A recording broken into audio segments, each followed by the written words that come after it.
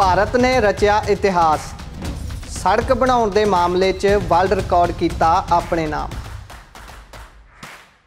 ਭਾਰਤ ਦੀ ਕੌਮੀ ਮਾਰਗ authority NHAI ਨੇ ਮਹਾਰਾਸ਼ਟਰ ਦੇ ਅਮਰਾਵਤੀ ਅਤੇ ਅਕੋਲਾ ਜ਼ਿਲ੍ਹਿਆਂ ਵਿਚਾਲੇ ਕੌਮੀ ਮਾਰਗ ਤੇ 105 ਘੰਟਿਆਂ ਤੇ 33 ਮਿੰਟ ਵਿੱਚ ਲਗਾਤਾਰ ਕੰਮ ਕਰਕੇ 75 ਕਿਲੋਮੀਟਰ ਸੜਕ ਬਣਾ ਕੇ ਗਿਨੀਜ਼ ਵਿਸ਼ਵ ਰਿਕਾਰਡ ਬਣਾਇਆ ਹੈ।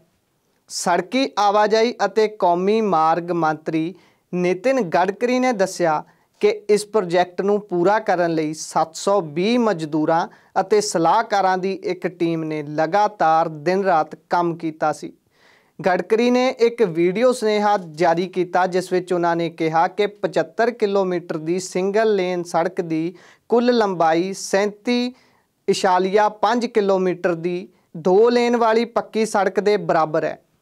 ਇਸ ਨੂੰ ਬਣਾਉਣ ਦਾ ਕੰਮ 3 ਜੂਨ ਨੂੰ ਸਵੇਰੇ 7:27 ਮਿੰਟ ਤੇ ਸ਼ੁਰੂ ਕੀਤਾ ਗਿਆ ਸੀ ਅਤੇ ਇਹ ਕੰਮ 7 ਜੂਨ ਨੂੰ ਸ਼ਾਮ 5 ਵਜੇ ਬਣ ਕੇ ਤਿਆਰ ਹੋ ਗਿਆ। ਕੇਂਦਰੀ ਮੰਤਰੀ ਨੇ ਕਿਹਾ ਕਿ ਪਿਛਲਾ ਗਿਨੀਜ਼ ਵਿਸ਼ਵ ਰਿਕਾਰਡ ਤੋਂ 25.275 ਕਿਲੋਮੀਟਰ ਸੜਕ ਨਿਰਮਾਣ ਦਾ ਸੀ, ਜੋ ਫਰਵਰੀ 2019 ਵਿੱਚ ਦੋਹਾ ਕਤਰ 'ਚ ਬਣਾਈ ਗਈ ਸੀ। ਸਾਲ 2019 ਵਿੱਚ ਹੀ 27 ਫਰਵਰੀ ਨੂੰ ਲੋਕ ਨਿਰਮਾਣ ਅਥਾਰਟੀ ਨੇ ਸਭ ਤੋਂ ਤੇਜ਼ 22 ਕਿਲੋਮੀਟਰ ਦੀ ਸੜਕ ਦਾ ਨਿਰਮਾਣ ਕੀਤਾ ਸੀ। ਉਹ ਕੰਮ 10 ਦਿਨ ਵਿੱਚ ਪੂਰਾ ਹੋਇਆ ਸੀ। ਅਮਰਾਵਤੀ ਤੋਂ ਅਕੋਲਾ ਸੈਕਸ਼ਨਲ ਕੌਮੀ ਮਾਰਗ 53 ਦਾ ਹਿੱਸਾ ਹੈ। ਇਹ ਇੱਕ ਅਹਿਮ ਲਾਂਘਾ ਹੈ ਜੋ ਕੋਲਕਾਤਾ ਰਾਏਪੁਰ, ਨਾਗਪੁਰ ਅਤੇ ਸੂਰਤ ਵਰਗੇ ਪ੍ਰਮੁੱਖ ਸ਼ਹਿਰਾਂ ਨੂੰ ਜੋੜਦਾ ਹੈ। ਗਡਕਰੀ ਅਨੁਸਾਰ ਜੇਕਰ ਇੱਕ ਵਾਰ ਕੰਮ ਪੂਰਾ ਹੋ ਜਾਂਦਾ ਹੈ, ਤਾਂ ਇਹ ਹਿੱਸਾ ਇਸ ਰੂਟ ਦੇ ਟ੍ਰੈਫਿਕ ਅਤੇ ਢੁਆ ਢੁਆਈ ਦੀ ਆਸਾਨ ਆਵਾਜਾਈ ਵਿੱਚ ਅਹਿਮ ਰੋਲ ਅਦਾ ਕਰੇਗਾ।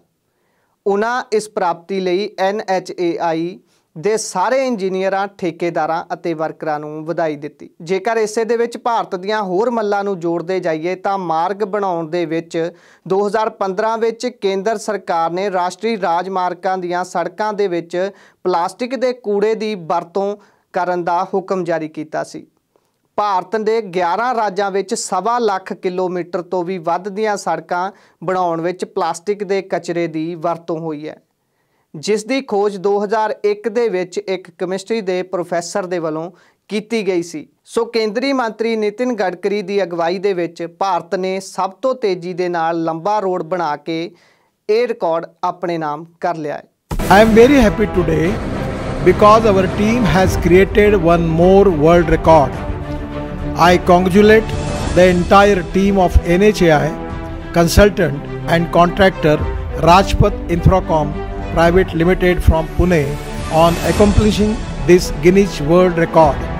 720 workers including team of independent consultants worked day and night to complete this task. I have been informed that nearly 35% of work is completed on this stage from Amravati to Akola and nearly 65% in Akola to Chikli section. Therefore, with this achievement, there will be a great relief to commuters. The movement of traffic will be smooth and travel time will be reduced.